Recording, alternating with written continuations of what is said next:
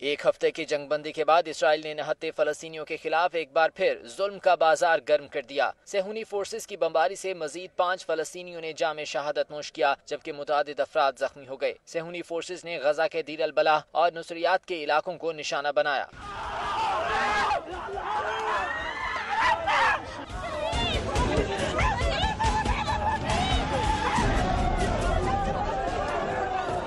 इससे पहले रफा के इलाके में इसराइली बमबारी से हमास के तीन सीनियर कमांडर समेत चौदह फलस्तीनी शहीद हो गए। हमास ने कमांडर्स की शहादत का बदला लेने का ऐलान किया है। एक माह से ज़्यादा अरसे से जारी इसराइली जारहत के नतीजे में दो हज़ार पैंतालीस फलस्तीनी शहीद हो चुके हैं, जबकि बमबारी के नतीजे में जख्मी होने वाले फलस्तीनियों की तादाद दस हज़ार से तजावुज कर चुकी है।